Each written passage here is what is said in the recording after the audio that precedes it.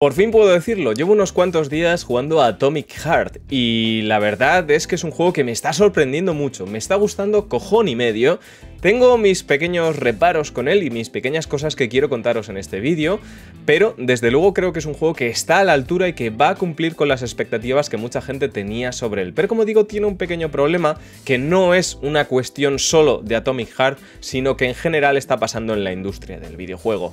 Pero podéis estar tranquilos, porque Atomic Heart creo que es un muy, pero que muy buen videojuego.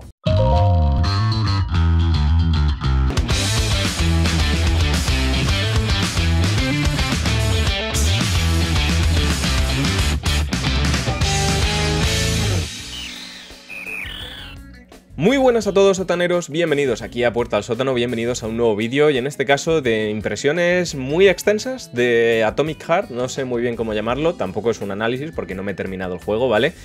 Y bueno, pues quiero en este vídeo dejaros pues un poco mi opinión y mi perspectiva sobre Atomic Heart, ¿no? Que es un juego que entiendo que muchísima gente lo tenía como uno de los juegos más esperados del año.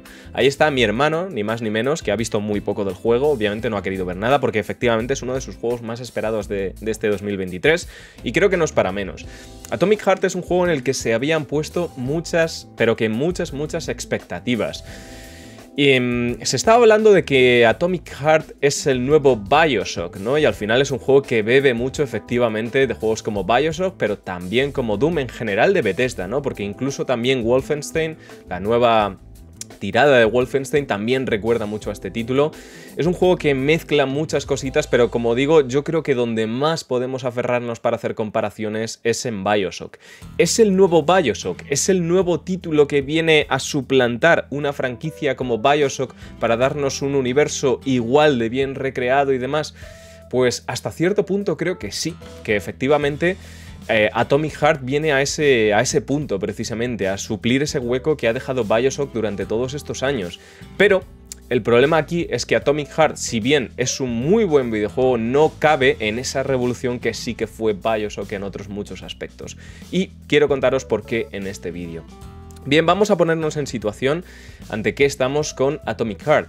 Estamos ante un juego que está ambientado en un universo paralelo distópico en los años 50, finales de la segunda mitad de los años 50 básicamente, donde el comunismo ha triunfado, ha triunfado muy fuerte, entonces nosotros vivimos en una Unión Soviética donde todo es eh, progreso, esplendor, donde las máquinas hacen el día a día de una sociedad que funciona idílicamente y donde todo todo es pues esa distopía comunista que es una absoluta barrabasada. Y esto recuerda mucho el comienzo del juego, porque es que es así, recuerda muchísimo al comienzo de Bioshock Infinite. Recuerda muchísimo, ¿no? Cuando estás en Colombia por primera vez y demás, y ves un poquito esa sociedad y cómo es la gente, y un poquito ese elitismo y ese progreso que hay, pero ambientado en los años 50 y demás, es que recuerda muchísimo, pero muchísimo a Bioshock, ¿no? Ese esplendor de Rapture, es como si hubiésemos visto, vivido en Bioshock, en el primero de todos, no hubiésemos llegado ya cuando la fiesta ha pasado en Rapture, sino precisamente cuando todo estaba en ese auge, en ese clímax y en esa utopía, ¿no? Bueno, pues eso es lo que propone el comienzo de Atomic Heart, ni más ni menos, ¿no? Ver un lugar que, donde la gente es súper feliz, donde efectivamente las máquinas hacen el día más fácil, donde la tecnología ha progresado muchísimo gracias al auge del comunismo y de las grandes figuras del mismo. Bueno, todo juega con esta utopía, que es una puta pasada a nivel artístico, tengo que decirlo, es una puta barra basada. O sea, es una bestialidad a nivel artístico. Lo que es la arquitectura, lo que son los diseños de los robots, lo que son los diseños de las calles, el colorido que tiene, que es años 50, estás escuchando, sintiendo y viendo años 50 por todos los lados con ese retrofuturismo es, no sé, es magnífico en ese aspecto. A nivel artístico hay una inmensa variedad de robots, de diseños y demás que son bestiales y como digo, la arquitectura y un poquito todo el arte general del juego en ese aspecto es una locura. O sea, han conseguido crear un mundo que es eh, distópico, te lo crees, te sumerges y está muy bien recreado. Con sus propias ideas, su propia tecnología, su propia eh, sociedad, todo funciona, ¿no? O sea, dentro del mundo hay una cohesión en la que todo funciona muy bien y eso yo creo que es ya difícil de lograr, ¿no? Que tú entres en un juego y que sea un juego que te está contando una historia ficticia, utópica y demás, y te lo creas, te sumerjas, es complicado, y creo que Atomic Heart lo hace, pero es que lo hace muy bien, ¿eh? lo hace sobresalientemente bien en este aspecto. Técnicamente, como digo, además, pues ayuda mucho, porque la verdad que el juego se ve muy bien, yo en mi caso lo he estado jugando en PlayStation 5, o sea que, bueno, pues nueva generación, tengo entendido que por mucho la mejor versión es la de PC, por si tenéis dudas. De todas formas, el analista de bits ya está subiendo vídeos y por ahí y demás de, Atomic Heart, por si queréis ver comparaciones de cómo va en diferentes sistemas y demás. Ya sabéis que a mí todo esto me da un poquito más igual, solo puedo decir que el juego se ve muy bien y hay momentos donde luce realmente espectacular. Hay un momento al principio del juego, en el prólogo, en el que entras en un gran palacio y lo del ray tracing ahí es una puta locura. Es una puta locura porque estás viendo cómo eh, todo está duplicado con un suelo de mármol donde todo es ostentosidad y todo brilla muchísimo. Es una, una barbaridad. Bueno, en todos estos aspectos, Atomic Heart recuerda mucho, pues eso, recuerda a Bioshock, sobre todo a Infinite, más que a ningún otro, recuerda al que más a Infinite. Al menos al principio, luego ya empieza a recordar un poquito más a otros Bioshock, ¿no? Y ahora os cuento por qué.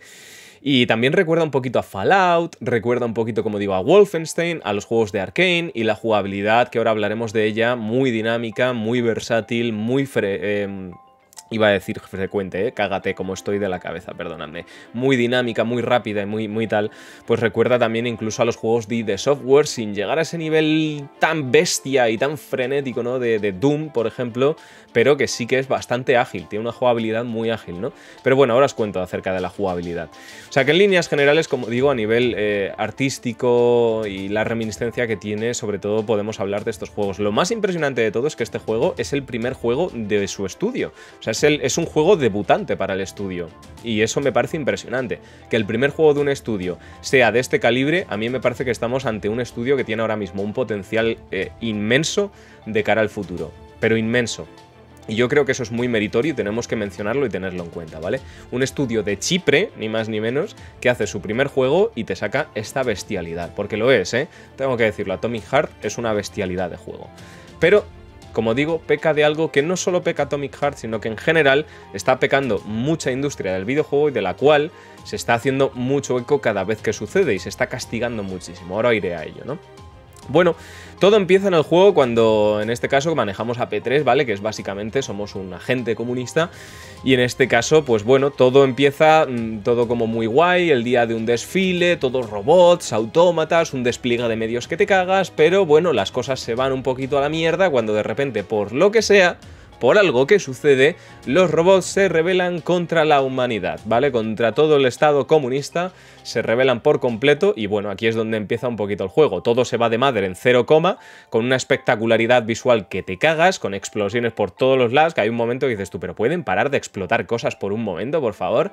Y bueno, pues ahí empezaría el juego con una sección relativamente lineal en la que estamos en una especie de hotel y demás, donde ya nos empiezan a enseñar un poquito cómo funcionan las mecánicas de juego como tal, ¿no?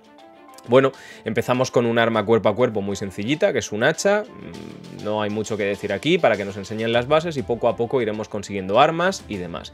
Y luego encontraremos un sistema de mejoras gracias a un aparato muy cachondo, y lo dejo ahí, ¿vale? A un aparato que, bueno, pues funciona un poco como las máquinas de Raptus, ¿no? Pero que en este caso nos permite mejorar nuestro armamento con las diferentes piezas, componentes y demás que podemos ir encontrando a lo largo del juego, de tal manera que podemos gastar recursos en mejorarlo y también para desbloquear habilidades para nuestro brazo izquierdo, ya que una de las mecánicas principales que tiene Atomic Heart es que tenemos un brazo capaz de utilizar cierto tipo de habilidades que recuerdan muchísimo, pero muchísimo, muchísimo a los plasmidos de Bioshock. Es un poquito el mismo principio, ¿vale? Solo que aquí hay una cosa que me ha gustado mucho, es que estas habilidades no tienen como una barra que se va gastando, sino que tienen tiempo de refresco, ¿vale? Son habilidades que podemos equiparnos y tienen un tiempo de refresco y eso pues le da un componente estratégico más que simplemente, bueno, pues me la lleno la barra con este objeto y ya y fuera, ¿no? A mí esto me ha gustado bastante. Y bueno, ¿qué habilidades podemos encontrar ahí? Pues hay bastantes habilidades y podemos mejorarlas en, diferentes árboles de habilidades, pero lo guapo es que se pueden combinar, ¿vale? Por ejemplo, podemos crear un gel que es capaz de empaparlo todo ahí en, en una zona más o menos radial Y esa zona radial se puede utilizar ese gel para varias cosas, pues se puede incendiar y hacer más daño, o se puede electrocutar con otro tipo de habilidad, de tal manera que podemos combinar los plásmidos, ¿vale? Estas habilidades entre sí para mm, crear nuestras propias estrategias y estilo de juego, ¿no? Así igual las armas se pueden ir mejorando para tener nuevas habilidades, nuevos ataques especiales, hacer más daño, bueno, estadísticas, todo un sistema RPG que os podéis imaginar aquí, que está muy pero que muy guapo. También tenemos habilidades pasivas que podemos mejorar, como un esquive que también puede ser utilizado como un dash en el aire y que también suma al plataformeo y a la exploración, que tiene un tiempo de refresco y un tiempo de, y una, mm, perdón, cantidad de de veces que lo puedes utilizar seguido y esto se puede ir mejorando a medida que progresamos y que vamos, como digo, consiguiendo componentes que nos permiten mejorar todo esto, ¿no? Tengo que decir otra cosa, y es que, como digo, esta jugabilidad es endiabladamente bestia, ¿no? El juego es retante, yo me lo he puesto no en la máxima dificultad, porque la máxima, os lo voy a decir, siempre juego en la máxima dificultad, pero me ha acojonado, ya os lo digo, la descripción me ha acojonado fuerte y he cogido la segunda más difícil. Y el juego es retante, ¿vale? El juego es muy ágil con su sistema de combate, como digo, todo recae en la variedad de enemigos. Los enemigos más básicos, a los que yo he denominado los Antonios, ¿vale? Porque son robots como básicos, pues es que son súper agresivos y como te vengan más de dos, más de tres, estás vendidísimo. Entonces tienes que tener muy en cuenta los esquives, hacerlos al tiempo que, que toca y atacar cuando toca y no puedes ir a saco, te matan a la mínima, ¿vale? Por supuesto podemos recuperarnos vida con viales que vamos encontrando, bueno, todo esto está así presente, ¿no? Pero la hostia, de verdad. O sea, el sistema de combate es muy ágil y a medida que vas progresando, desbloqueando habilidades, nuevas armas y, y, otras habilidades especiales para tu mano izquierda, pues efectivamente, ¿qué es lo que pasa? Pues que te acabas juntando con un sistema de combate que es una puta locura. Y luego vamos viendo una serie de enemigos que van apareciendo cada vez más locos, más ágiles, más grandes, más todo, que es, es una bestialidad el sistema de combate. O sea, es cojonudo como juego eh, de acción, quiero decir, simplemente como shooter, ¿vale? Es la hostia. Atomic Heart es muy bueno. Es muy bueno. La historia, como digo, de momento poco puedo hablar, pero sí que me está enganchando lo suficiente, como qué coño ha pasado aquí, qué es lo que está pasando. Yo ya veo por dónde van los tiros, bueno, de hecho ya sé un poco qué ha pasado en la historia, ¿vale? Por qué los robots se han ido un poco a la puta, a la verga. Y bueno, pues una locura. Pero hay una cosa que me ha sorprendido especialmente dentro de Atomic Heart, y es que esto no me lo esperaba. Es el sentido del humor tan bestia que tiene el juego. O sea, tiene un sentido del humor, pero muy bestia no apto para mayores, para menores de 18, lo vamos a dejar así. Tiene un sentido del humor tan loco, tan bestia, en el que te estás partiendo la caja todo el rato con los diálogos, con el protagonista, con los chascarrillos que suenan, con los personajes que te vas encontrando. Y luego, bueno, no quiero contaros nada, no hay spoilers, yo solo os diré que la máquina que te ayuda a mejorar tus herramientas y demás, Solo os diré que es una cachonda, ¿vale? Esa máquina os vais a partir la caja con ella. Y luego, bueno, pues los personajes que te vas encontrando, hay, hay una movida en el juego y es como una especie de dispositivo que es capaz de, de seguir utilizando las ondas eléctricas del cerebro una vez ciertos personajes han muerto. Y entonces empiezan como a divagar y a soltar mensajes random y pasan cosas muy locas, ¿vale? En el juego. O sea, los diálogos son la polla. O sea, te ríes muchísimo. Los diálogos son muy buenos. Es muy bestia el sentido del humor que tiene el juego, pero muy bestia. En general el juego es muy bestia, es muy gore, es muy hardcore. Y como digo, es uno de esos juegos que no tiene educación ninguna, pero que lo hace bien, ¿sabes? O sea, se le da bien ser sórdido en todos los aspectos posibles a Atomic Heart. Y mola mucho, tío. Mola mucho. Eso es algo que me ha encantado. Entonces, si todo lo que os estoy diciendo, os estoy describiendo un juego que prácticamente es un puto 10 casi en todo, no llega a tanto, pero mm, si es muy bueno, ¿dónde falla Atomic Heart? Porque si todo esto está genial, ¿qué es lo que le pasa? ¿Cuál es el problema que tiene Atomic Heart? Bueno, bajo mi punto de vista, el problema de Atomic Heart es el mismo que están teniendo muchísimos juegos a día de hoy. Y es el hecho de haber insistido en crear un mundo abierto. Porque cuando mejor funciona Atomic Heart es en las secciones lineales. Cuando tienes que explorar una zona en concreto y tienes que ir encontrando eh, la forma de avanzar y de abrir cerraduras y de encontrar la ruta y encontrarte pasillos más a oscuras o no, pero bueno, más lineales. O sea, más tipo Bioshock, para que nos entendamos, es cuando mejor funciona. Y sí, hay un mundo abierto y puedes conducir vehículos y puedes hacer un montón de cosas y te encuentras enemigos y explorar y lootear y mogollón de cosas. Y está guay. Pero el problema es que al final el mundo abierto le acaba pasando una factura negativa al videojuego. Y esto no es porque esté mal planteado el mundo abierto, ¿vale? Y esto quiero dejarlo muy claro. No creo que sea un problema de que el mundo abierto esté o mal diseñado o lo que sea, porque no, no es así. Sencillamente creo que ha habido tal sobreexposición a los juegos de mundo abierto que a día de hoy pensar en un mundo abierto es pensar ya en negativo directamente. Y es simplemente porque nosotros, los jugadores, nos hemos cansado de esto. O sea, no quiere decir que esté mal o que sea malo, pero que le pasa factura, sí, y sobre todo en Atomic Heart tengo que decirlo, en los momentos en los que puedes explorar linealmente ciertas zonas, en las secciones lineales, que tienes que tener en cuenta un poquito más el sigilo, o tienes que tener en cuenta un poquito más la estrategia y quizá la exploración no es tan abierta y es algo más acotado y no sé, todo está como un poquito mejor dirigido, ahí es cuando más luce el juego y se nota, ¿eh? es una cosa que se nota. Al final el mundo abierto está guay y la verdad no te voy a decir, no, resta, es, es malo, es terrible, es una cosa espantosa, es... No, no, no lo es, pero es cierto que yo creo que es el gran problema que ha tenido, no en general Atomic Heart, sino el desarrollo de casi cualquier videojuego que sale a día de hoy al mercado, ¿no? Mundo abierto tradicional, entendedme, porque se pueden hacer mundos abiertos de muchas maneras, pero la manera tradicional de hacer mundos abiertos, pues ahí está, ¿no?